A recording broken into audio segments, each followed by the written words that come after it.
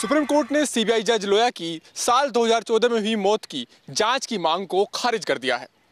Court ने अपने फैसले में याचिकाकर्ता की मंशा को लेकर के भी सख्त टिप्पणी की है। दिसंबर 2014 में महाराष्ट्र के सीबीआई जज बी एच लोया की नागपुर में दिल का दौरा पड़ने से मौत हो गई थी। जज लोया अपने एक सहयोगी की बेटी की शादी में शरीक होने के लिए वहाँ गए थे।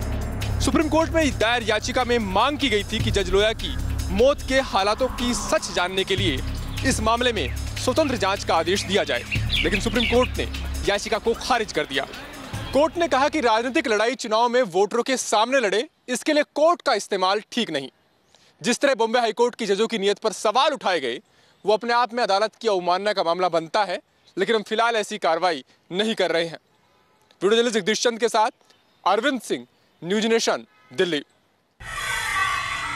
Justice Loya मामले में आए सुप्रीम कोर्ट के फैसले के बाद भारतीय जनता पार्टी कांग्रेस पर हमलावर हो गई है। बीजेपी ने इस मसले पर राहुल गांधी से देश से माफ़ी मांगने की अपील की है। जस्टिस लोया के मामले में एक बार पुनः कांग्रेस एक्सपोज हुई है। राहुल गांधी को देश की जनता से इस शरारतपूर्ण चेष्टा के लिए माफ़ी मांगनी चाहिए। भारतीय जनता पार्टी ने ये आरोप लगाया है कि ये जनहित याचिका नहीं थी बल्कि जानबूझकर उनकी पार्टी के राष्ट्रीय अध्यक्ष अमित शाह को बदनाम करने के लिए ये याचिका सुप्रीम कोर्ट में दायर की गई थी। वीडियो जर्नलिस्ट जयराम के साथ Ravikant Rai News Nation Delhi. Mecca Masjid blast case में फैसला देने वाले जज रविंदर रेड्डी के इस्तीफे को आंध्र प्रदेश तेलंगाना हाईकोर्ट ने नामंजूर कर दिया है। हैदराबाद की मक्का मस्जिद विस्फोट मामले में फैसला सुनाने वाले विशेष एनआईए कोर्ट के जज रविंदर रेड्डी के इस्तीफे पर विचार करने के बाद आंध्र प्रदेश और तेलंगाना हाईकोर्ट ने उनके इस्तीफे को नामंजूर कर दिया है। रविंदर रेड्डी ने निजी कारण बताते हुए सोमवार को फैसला सुनाने के तुरंत बाद ही इस्तीफा दे दिया था। वहीं जज रविंदर रेड्डी ने कहा है कि उनके इस्तीफे को इस फैसले से जोड़कर देखना नहीं चाहिए। वीडियो जर्नलिस्ट मोनीश के साथ यासर मुश्ताक, न्यूज़ नेशन। प्रवीण तोगड़िया ने साधु संतों के मनाने पर आज तीसरे दिन अपना अनशन तोड़ दिया है। अब प्रवीण तोगड़िया राम मंदिर के मुद्दे के साथ पूरे देश का दौरा करेंगे। बीएचपी के अध्यक्ष पद से हटा देने के बाद प्रवीण तोगड़िया राम मंदिर निर्माण को लेकर माहौल बनाने की कोशिश करने में लगे थे। इसी के तहत तोगड़िया ने अहमदाबाद में राम मंदिर की मांग को लेकर मंगलवार से अनिश्चितकालीन उपवास शुरू किया।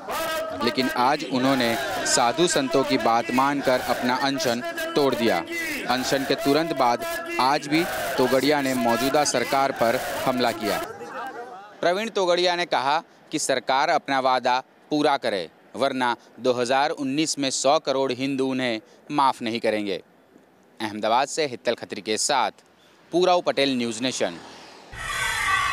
Pathankot airbase के पास आर्मी यूनिफॉर्म में तीन संदिग्धों को देखे जाने के बाद खुफिया एजेंसियाँ अलर्ट पर हैं। संदिग्धों को पकड़ने के लिए सर्च अभियान जारी है। पठानकोट एयरबेस एक बार फिर हाई अलर्ट पर है। एयरपोर्ट के आसपास कल रात को स्थानीय लोगों ने तीन संदिग्ध लोगों को आर्मी की यूनिफॉर्म में देखा, जिसके बाद स्थानीय लोगों द्वारा पुलिस को सूचना देने के बाद खुफिया एजेंसियों के साथ साथ पुलिस भी हाई अलर्ट पर है। संदिग्धों को पकड़ने के लिए खुफिया एजेंसियों सहित पुलिस ने सर्च अभियान जारी रखा है। पठानकोट एयरबेस पहले भी आतंकी घटना का शिकार हो चुका है और अब आर्मी यूनिफॉर्म में तीन संदिग्धों का देखे जाना किसी अप्रिय घटना की ओर इशारा कर रहा है, जिसके चलते पुलिस और एजेंसियाँ हाई अलर्ट पर हैं।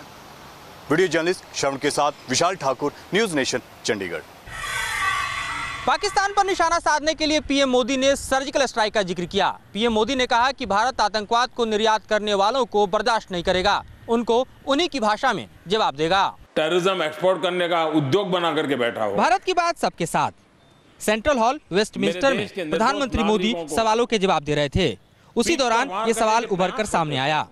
दर्शक में बैठे एक शख्स ने सर्जिकल हमलों पर सवाल किया तो मोदी ने जवाब में कहा कि जिन्हें आतंक का निर्यात पसंद है मैं उनसे कहना चाहता हूँ कि भारत बदल गया है और उनके पुराने तौर तरीकों को बर्दाश्त नहीं किया जाएगा। सर्जिकल स्ट्राइक ये भारत के वीरों का तो पराक्रम था ही था। लेकिन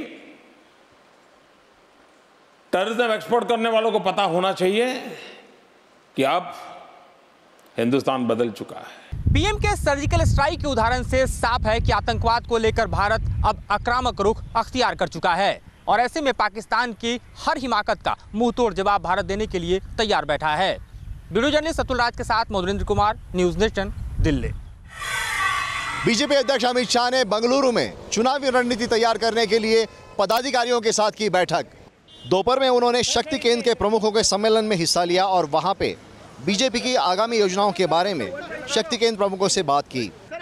बेंगलुरु में शाम को साढ़े सात बजे बीजेपी अध्यक्ष अमित शाह उद्योगपतियों के साथ बैठक करने वाले हैं। बीजेपी की अपनी योजनाओं के बारे में वो उद्योगपतियों से बात करने वाले हैं। वीडियो जर्नलिस्ट स्वप्निक चौहान के साथ सुभाष शिर्के, न्यूज़ नेशन, बेलगांव। नोएडा में एक कार से तीन दिन पुरानी लाश मिली। बताया जा रहा है कि मृतक सूरजपुर से लगभग चार दिन से गुमशुदा था। नोएडा के सेक्टर 108 में उस समय हड़कंप मच गया जब एक पॉस सोसाइटी के बाहर एक गाड़ी में व्यक्ति का शव सड़ी गली अवस्था में मिला। लोगों की सूचना पर थाना सेक्टर उनतालीस पुलिस मौके पर पहुंचकर जाँच में जुट गई। वहीं शव चार पाँच दिन पुराना लग रहा है। शव की पहचान बाद में लोकेंद्र नाम के आदमी के रूप में हुई। घटना के बाद से मृतक का ड्राइवर लापता है। फ़िलहाल पुलिस के शक की सुई मृतक के ड्राइवर के आसपास ही घूम रही है। नोएडा से वीडियो जर्नलिस्ट सुधीर कुमार शर्मा के साथ मनीष चौरसिया न्यूज़ नेशन।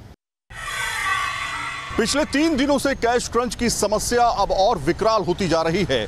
खास तौर पे ग्रामीण इलाकों में अभी तक कैश नहीं पहुँचा है। वित्त मंत्रालय का कहना है कि दो से तीन दिन में ये प्रॉब्लम सॉल्व हो जाएगी। एटीएम में कैश की समस्या अभी बनी हुई है। कई ग्रामीण इलाकों और छोटे शहरों, व्यस्त बाजारों में कैश नहीं मिल पा रहा है। हालाँकि कुछ इलाकों में कैश मिलना शुरू हुआ है, लेकिन लोगों को खासा परेशान होना पड़ रहा है। आज मैं समझता हूँ कि देश के 80 प्रतिशत से ऊपर के एटीएम्स में पैसे है, जहाँ भी कोई जाएगा, वो है। देश में करीब एक लाख दस हज़ार एटीएम है, जिनके रिकैलिब्रेशन का भी काम चल रहा है। आरबीआई का कहना है कि डिस्ट्रीब्यूशन और रिकैलिब्रेशन के लगातार चलते हुए ऐसी दिक्कत सामने आई है। हालाँकि एटीएम में पैसा निकालने के लिए आप अच्छी खासी रकम भी देते हैं। आठ ट्रांजेक्शन के बाद, उसके बावजूद भी कई एटीएम खस्ता हालत में पड़े हुए हैं। वीडियो चेतन शर्मा के साथ सैयद आमिर हुसैन, न्यूज़ नेशन, दिल्ली।